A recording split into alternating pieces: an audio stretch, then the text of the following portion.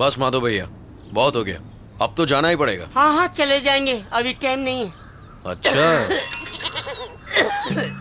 माधव भैया इधर से जाना। मैं तो इधर से ही जा रहा था। आगे से बाय। टूटू जा फ़ोन। आगे से मुड़। टूटू जा फ़ोन। ए माधव यहाँ ना। बाय जाना। राइट ले लो। अरे झाको मैं नहा रहा हूँ। इधर नहीं उधर जाओ। सीधे जाके बाज़ार से लेफ़्ट आगे। यहाँ नहीं सब्ज़ी की मंडी से। भैरों का ताल। लो आगे अस्पताल। अरे माधव तुम तो अपने आप ही आ गए।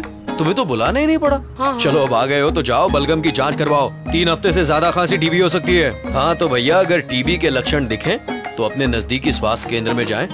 मुफ़्त में बलगम की जाँच करवाएँ। और अगर टीबी हो तो डॉट सेंटर से दवा लीजिए। वो भी बिल्कुल मुफ़्त। टीबी रुकेगी। मिलके हम रोके जो बस इलाज पूरा करें।